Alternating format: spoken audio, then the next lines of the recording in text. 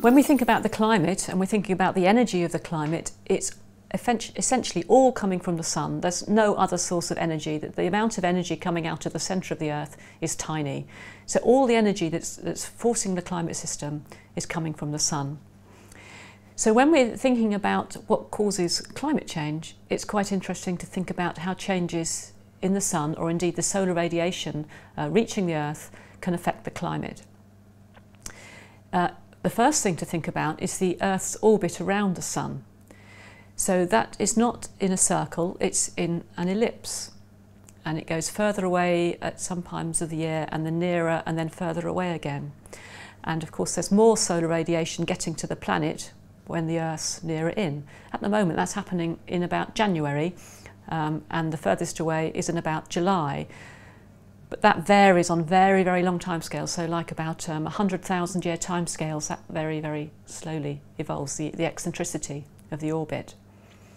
Another factor that, that is responsible for the distribution of radiation um, over the globe is of course the tilt of the Earth's axis to, to the plane of the um, orbit. And that will uh, result in the development of seasons. So when we have the northern hemisphere tilting in towards the sun, it's northern hemisphere summer and southern hemisphere winter. And when we have the other way round, it's southern hemisphere summer and northern hemisphere winter. So we have the amount of solar radiation distribution over the globe is varying uh, dependent on that. That tilt of the orbit also varies on tens of thousands of year timescale. The final um, and the third parameter which uh, affects the amount of radiation getting to um, the Earth in terms of orbital parameters um, is called the precession. And that's telling us at what point on this elliptical orbit the northern hemisphere is pointing in towards the sun. At the moment, the northern hemisphere is pointing in towards the sun when it's at the furthest point in the elliptical orbit. But that, that parameter, that timing, also varies on tens of thousands of years. So we have these three parameters that are determining the Earth's orbit around the Sun, and they will uh, influence the amount of radiation that's coming from the Sun onto the Earth, and also its distribution over the Earth. So we can see if we look back in, in climate history, we will see a record of these, the, the change in solar radiation in the climate. And the most obvious um, example of that is the uh, existence of ice ages. If we look at how the ice ages have occurred, they occur on approximately uh, every 100,000 years. We're fairly sure that they're due to changes in the eccentricity of the Earth's orbit around the Sun. The fact that they're not um, harmonic and smooth and sinusoidal as you might expect in these very slowly varying um, orbital changes is, is an interesting question and that is almost certainly due to the release of greenhouse gases, particularly carbon dioxide, from stores in the climate system. So when the solar effect begins to warm up the climate, then that warms up stores of carbon dioxide, releases it into the atmosphere, that gives you more greenhouse effect, gives you more warming, and you get a much sharper warming than you would have had just due to the orbital variations alone. So there's a coupling here between natural carbon dioxide greenhouse effect and changes in the sun's orbit. So that's all um, changes in the amount of radiation that reaches the Earth um, due to uh, orbital variations. The sun can be sitting there not changing at all, just pumping out its constant energy and that, that's not having an effect on this particular um, variations. And I've been talking about variations on very long time scales. More important for consideration of current climate change is uh, how changes in the sun itself uh, might influence the climate.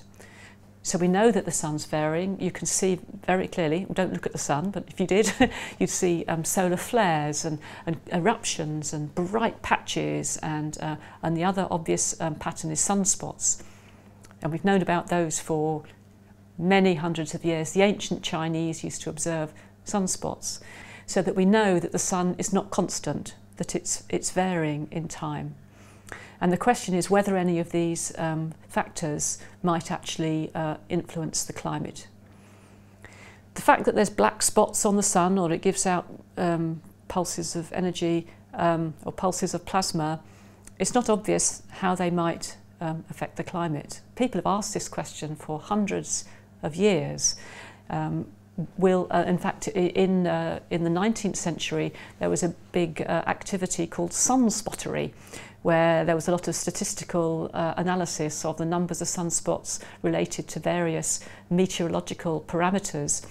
The most famous of which was um, by uh, William Herschel, who was a very famous scientist, a very substantial scientist. He did a, a, some work on how um, the price of wheat on the London Stock Exchange responded to sunspot numbers. The price of wheat obviously corresponding to supply of wheat corresponding to climate. So he, he was trying to do that. A very interesting question. I think the statistics of his results are not very robust. Looking a bit uh, into, uh, into time progresses, if you look in about the uh, 1930s or so, the development of um, radiometers could actually measure how much radiation is coming in from the sun. So here we're trying to investigate a physical link between the energy coming in from the sun and the, and the surface temperature. One, one suggestion was that when there was more sunspots on the sun, there would be less radiation coming from the sun because the black spots would be blocking out some of the radiation. Perfectly plausible hypothesis. But when people, they were taking um, these radiometers up mountains. Um, there's a guy called Abbot in the United States going to really clean areas up mountains, trying to get long records of solar radiation, trying to relate it to sunspots. He couldn't do it. And of course, he couldn't do it not because there was anything wrong with his instrumentation, but really because of the atmosphere in the way just blots out a, a quite a small signal. Since we've had satellites, of course, we've known that solar radiation does vary uh, and it varies in phase with the sunspot cycle and in phase in a, in a positive um, correlation. So when there's more sunspots, there's more radiation coming from the sun. When the sun is more active, it not only produces black sunspots, well, they appear black to us, but it also uh, produces brighter areas that we can't see with the naked eye, but can be seen in various cameras. Um, and the, uh, the brighter areas, the effect of the brighter areas dominates over the effect of the darker areas so that there's more radiation coming out of the sun when it's more active. So I've mentioned um, solar flares, which are very intermittent on very short time scales. Well, they vary on century time scales, but they also vary on a very well-known 11-year cycle. So you've heard of the sunspot cycle, and there's a certain amount of effort that goes into understanding whether the weather and climate vary with an 11-year cycle. Another um, indirect measure of solar activity um, is actually cosmic rays. So um, if you're looking at galactic cosmic rays, these are coming from well outside of our, our galaxy, but they are coming to the Earth all the time. The arrival outside the solar system is uh, fairly constant, but when the sun is more active, its magnetic field strengthens and the, and the, and the cosmic rays are deviated. So there's an indirect relation, no, so that there's an inverse relationship between the number of cosmic rays and solar activity. So if we have a, a, measure of what the cosmic rays were doing, we know what the sun was doing. And we have a measure of what the cosmic rays is doing in the cosmogenic isotopes, clues in the name, as they go back in the past. So we can look in all sorts of um, geological and uh, Earth uh, records of what like uh, carbon-14 or beryllium-10 was doing over history, and that gives us an idea of what the essentially what the solar magnetic field was doing, and that's an indirect measure of, of, of solar activity. So we have all these uh, measures of solar activity on different time scales, um, but now we want to see actually whether these changes in the sun have any effect on the climate. One, can we detect any signals in climate that correspond to these changes in solar activity? Two, can we explain them? So it's a sort of statistical question and it's a physical question. In terms of statistics, um, I've talked about the cosmic ray records of, of longer term um, solar activity and we can compare those with um, te temperature records, proxy temperature records that we have of global temperature. And we can detect some uh, small correlation. Uh, for a long time, there was the idea that um, the Little Ice Age, as it was called, in um, the late 17th century, um, which, in which the temperatures, especially in northwest Europe, were cooler, corresponded to what was called the Maunder minimum in sunspots. So that was a time when no sunspots were observed for a period of, of perhaps 50 years or so. Um, we know that it wasn't just because people weren't looking or that they weren't trying or they weren't seeing them because they were measuring them before that. They were trying to see them and they couldn't see them. Uh, and then they were seeing them after that. So it was actually a depletion in sunspots occurring. So there's this sort of, sort of correlation between the little ice age in temperature and the Maunder minimum um, in sunspot activity. And it's been a sort of uh, trope of the, of the um, whole science area that these two are linked. Actually, a, a new idea, which is um, possibly going to put a spanner in the works, is that we now understand that there was um, a lot more um, volcanic eruptions around the time of the late 17th century and in fact it's probably the fact that there was more particulates in the air from the volcanoes causing the cooling as opposed to um, lesser solar activity. So actually we're getting, uh, it's a more complicated picture than was previously um, understood. That being said, what about the 11-year uh, cycle? Uh, well, there are measures of 11-year um, cycle variability in, in, a number of different um, climate records, uh, the most obvious of which is up in the stratosphere, and you can see 11-year cycle in stratospheric temperature and in um, ozone concentrations. Nearer the surface, there are 11-year signals. It's quite difficult to extract. They're quite small and the statistics is difficult, but it does seem that there are um, indications, particularly in, in the North Atlantic region, where we seem to get colder winters when the sun is less active um, on the 11-year cycle. So we've got these indicators um, of various um, climate effects. Another one is um, Pacific Ocean uh, temperatures in the tropics, which seem to be uh, uh, surprisingly cooler when the sun is more active. So um, if we think the statistics are correct, we now need to understand the physics of what's going on.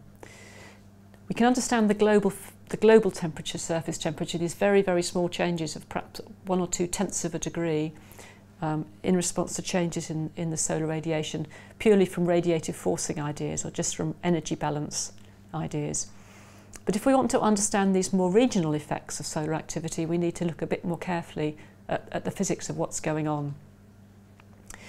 One very interesting aspect is um, of solar variability is that although the total radiation is changing over the 11 year cycle by perhaps a few tenths of 1%, so a very small amount, actually that's not the same at all wavelengths of the solar spectrum.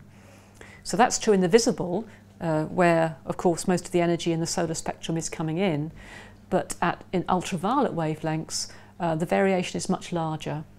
So if you go from, from say 300 to 200 nanometers wavelengths, you find that there's several percent variation in um, solar radiation over the solar cycle. And if you go to 100 nanometers, getting further away in the UV, um, it's, it's doubling between solar max and solar min. So clearly, this is an interesting physics question.